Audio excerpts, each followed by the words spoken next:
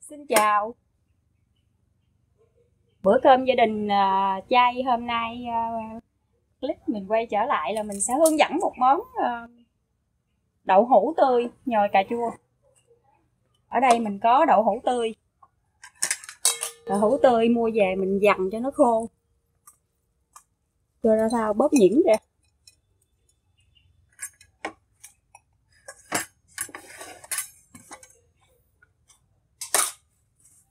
Là thật là nhuyễn.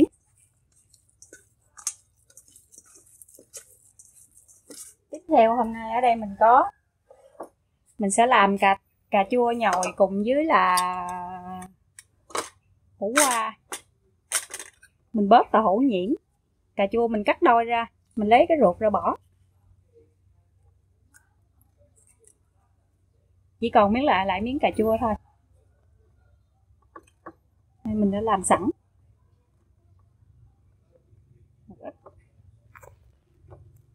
Mình lấy cái ruột cà chua ra như thế này. Sẽ có một một miếng cà chua rất là ngon.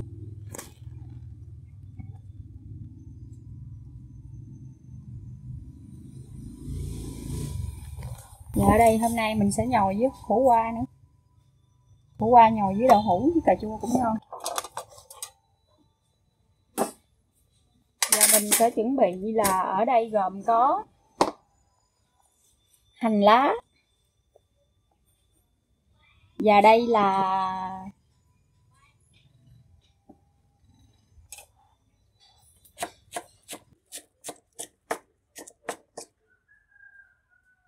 ở đây mình có chả nấm bào ngư, băm nhuyễn, hành lá băm nhuyễn, cà rốt, cũng băm nhuyễn luôn, nấm giòn, còn gọi là nấm mèo nữa đó.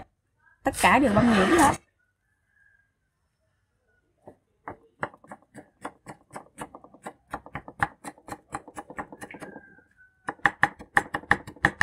Cái món đậu hũ nhồi cà chua này là cái món rất là đơn giản nhưng mà cũng bổ dưỡng. Cũng là món ăn hàng ngày cho bữa cơm chay của gia đình. Cho nên, mình cũng thường xuyên nên chế biến để ăn tăng chất dinh dưỡng cho gia đình nha. Các thứ hỗn hợp mình bỏ vô đây hết. Bỏ chung với đậu hũ nhồi hết. Hành lá. Còn một mớ gốc hành trà để lại mình thử thử cho vàng hay để vô. Thử với tỏi.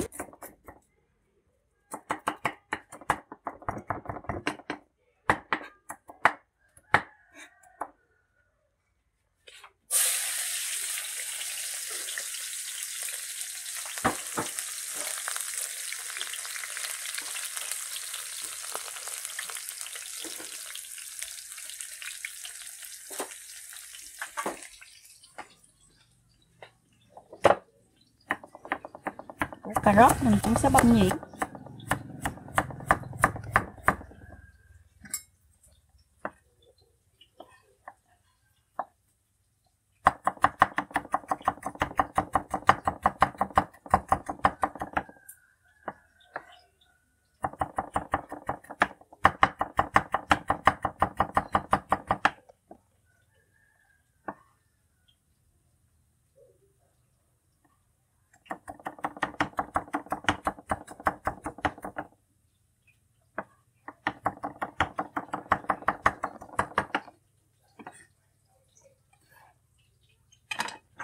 Rồi, tất cả những hỗn hợp mình để xong.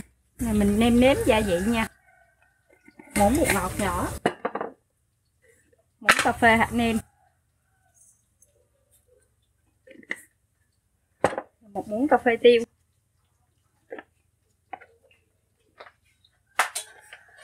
Khi mình thử thử hành với tỏi nó vàng rồi thì mình lấy ra. Mình sẽ vớt nó ra. Mình chỉ lấy phần hành khử tỏi khử thôi.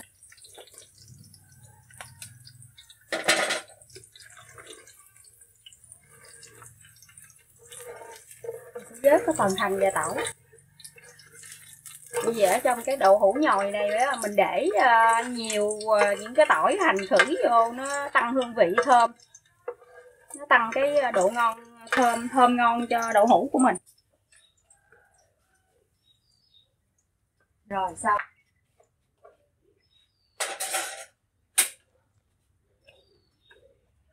Như vậy là cái món này bắt đầu mình sẽ trộn đều lên cắt thứ.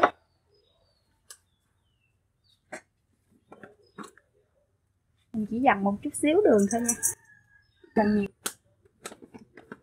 Thường thường các thứ mình làm mình chỉ dằn một ít đường thôi, rất là ít. Cái lượng nhỏ thôi. Vì chủ yếu là cái hương vị của hạt nấm nêm và rau củ nó cũng ngọt. Rồi, bắt đầu chúng ta nhồi.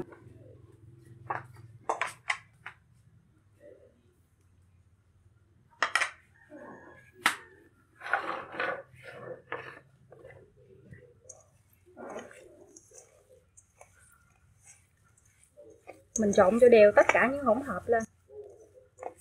Ở trong đây nhắc lại nha các bạn, gồm có nấm giọt, chả nấm bầu ngư, đậu hũ tươi mình à, dằn cho nó khô. Xong thì tất cả đều bóp nhuyễn ra, hành lá, hành thử. Rồi, mình sẽ có một cái hỗn hợp rất là ngon của đậu hũ.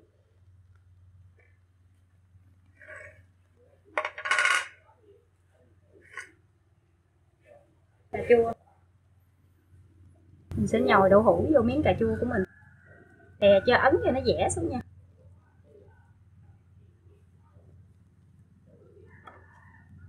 Ấn đậu hũ cho nó dẻ vô. Cho nó dính lại với miếng cà chua. Mình sẽ đè hơi mạnh tay một chút. Mình dằn cho nó.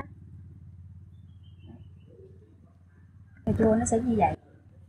Ở đây mình có khổ qua nữa cứ cũng dồn thời khổ qua. Vì hôm nay là cái món này không phải là khổ qua hầm, mà là khổ qua nó dồn rồi xong rồi mình sẽ áp chảo. Mình sẽ áp chảo cùng với cà chua.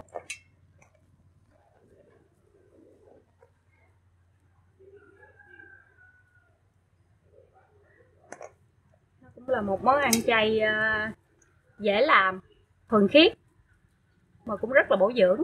Ở trong đây thì đậu hũ là chất đạm cà chua, hủ qua thì ờ, đều là rau củ quả. Cho nên ăn chay thì mình nên chế biến đa dạng hơn ờ, hàng ngày. Thật ra thì nó không có khó làm. Hơi ờ, tốn công một chút xíu, nhưng mà mỗi bữa ăn hàng ngày của mình cũng vì bữa ăn bổ dưỡng thì có tốn một chút cũng không sao. Mình siêng làm đồ ăn lắm. Mình muốn mọi người cùng ăn ngon, cùng thưởng thức ngon với mình bởi vì đồ ăn chay á, thì không phải là dễ ai mà ăn được. Cho nên mình cố gắng chế biến thật là ngon vừa miệng để mọi người cùng được thưởng thức đồ chay ngon của mình. Nha mọi người. Và dư một miếng thì mình tự chế biến cho nó thành miếng chả. Như thế này. Rồi xong. Dễ phải không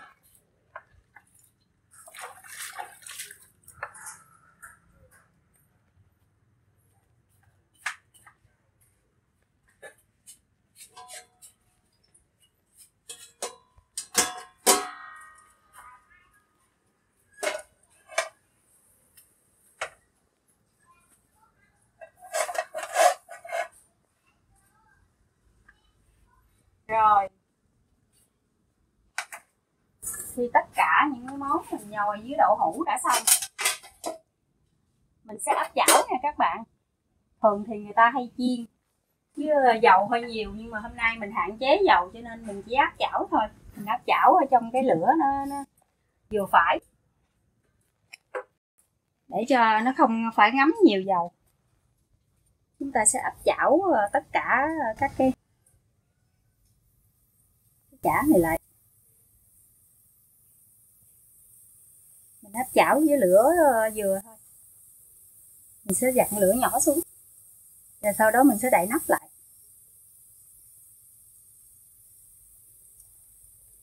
Mình vừa là áp chảo mà vừa giống như mình hấp khô gì đó. Cho nên à, khi mà nó nó chín tới thì cái miếng ờ, áp chảo của mình nó sẽ rất là thơm ngon. Nó không có thấm nhiều dầu, mà nó được chín rau củ quả. Nó chín khổ qua và cà chua hết đó. Xong. Rồi. Mình dặn lửa nhỏ lại thì mình mình sẽ đậy nắp lại. Đậy nắp lại như vậy mình nắp chảo trong vòng khoảng à, uh, 30 phút. Để lửa nhỏ thôi nha các bạn. Như vậy thì khi lửa nhỏ như vậy là nó nó nó sẽ làm cho những cái cuốn à, cà chua của mình với lại khổ qua nó sẽ vàng đều. Nó không bị khét rồi, thì trong thời gian chờ đợi này thì à, mình sẽ làm việc khác.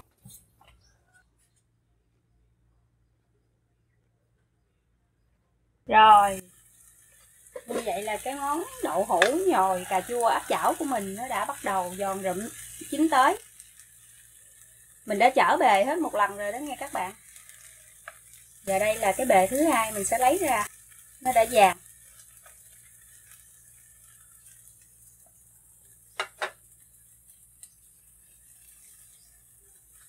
wow, hấp dẫn không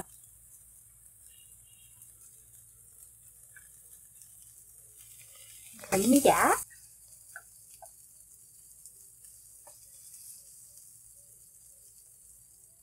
rất là hấp dẫn.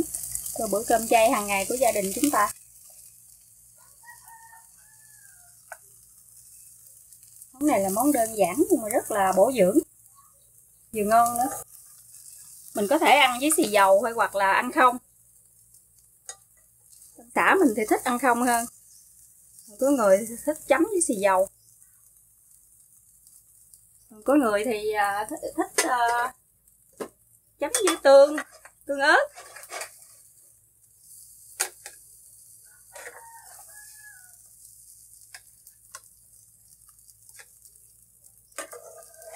Rồi tắt bếp vậy là món hủ qua và cà chua nhồi đậu hũ của mình ngày hôm nay đã hoàn tất. Xong. Nhìn thấy rất là ngon và hấp dẫn phải không các bạn? Cho bữa cơm uh, trưa của mình. Thôi, mời các bạn mời mọi người cùng thưởng thức nha. Chúc ngon miệng tạm biệt. Hẹn gặp lại lần sau.